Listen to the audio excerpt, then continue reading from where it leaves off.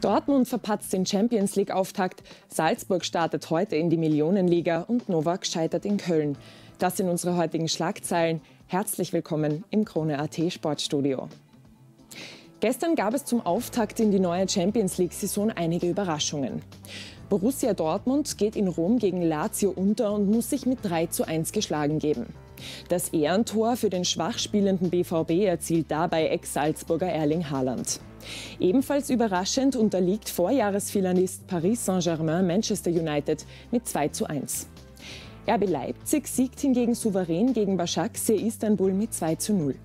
Teamspieler Marcel Sabitzer sieht aufgrund seiner Oberschenkelverletzung das Spiel 90 Minuten lang von der Bank aus. Konrad Leimer stand wegen seinen Knieproblemen nicht im Kader. Juventus Turin legt auch ohne Cristiano Ronaldo einen guten Start in die Champions League-Saison hin. Der italienische Meister setzt sich bei Dynamo Kiew mit 2 zu 0 durch. Der Superstar ist in der vergangenen Woche positiv auf das Coronavirus getestet worden und befindet sich deswegen in häuslicher Quarantäne. Auch Barcelona gibt sich keine Blöße und siegt gegen Ferencvaros mit 5 zu 1. Heute startet unser Meister Red Bull Salzburg in die neue Champions League-Saison. Um 18.55 Uhr wird das Spiel gegen Lok Moskau in der Bullenarena angepfiffen. Die Bullen wollen dabei einen ähnlich furiosen Start in der Königsklasse liefern wie letztes Jahr, wo sie gegen Genk mehr als überzeugend mit 6 zu 2 gewonnen haben. Mit dem russischen Vizemeister ist der vermeintlich schwächste Gruppengegner zu Gast.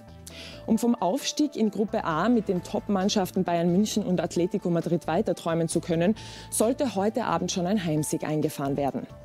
Maximilian Wöber meint dazu im Interview, auch wenn wir die wahrscheinlich schwierigste Gruppe erwischt haben, können wir viel erreichen. Wir drücken den Salzburgern in jedem Fall die Daumen. Mit dabei sind sie heute natürlich im Live-Ticker auf Krone.at. Das zweite Spiel der Gruppe A ist ein absolutes Topspiel. Um 21 Uhr empfängt Bayern München Atletico Madrid in der Allianz Arena. Dabei starten Alaba und Co. in die Mission Titelverteidigung. Schlechte Nachrichten gibt es jedoch für den deutschen Rekordmeister.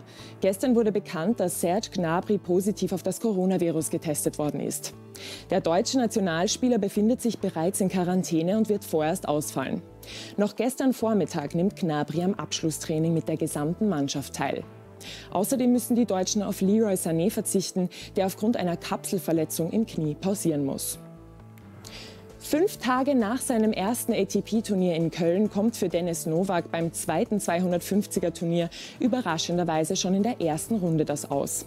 Der Österreicher, der in der Vorwoche in Köln erstmals ins Viertelfinale eingezogen ist, muss sich gestern Abend schon nach 63 Minuten gegen den deutschen Lucky Loser Oskar Otte mit 3 zu 6 und 2 zu 6 geschlagen geben. Alle Bet1 Hulks Championships Partien in Köln können Sie im Livestream auf Krone.at mitverfolgen. Für Österreichs zweitbesten Tennisprofi geht es ab kommendem Wochenende bei den Erste Bank Open in der Wiener Stadthalle im Heimturnier weiter. Nachdem in der Formel 1 schon über die Ablöse von Alex Albon bei Red Bull spekuliert wurde, befeuert Helmut Marko nun den, die Fahrerwechselgerüchte. Im Gegensatz zu Max Verstappen, der für die nächste Saison gesetzt ist, steht der 24-Jährige bei Red Bull Racing vor einer unsicheren Zukunft. Sollte Elben die Erwartungen weiterhin nicht erfüllen, müsste sich das Team außerhalb des eigenen Nachwuchskaders umschauen, so der Red Bull Motorsportchef. Was dem britisch-thailändischen Fahrer fehlt, sei die Konstanz, meint Marco dazu. In Aussicht wären der Deutsche Nico Hülkenberg und der Mexikaner Sergio Perez.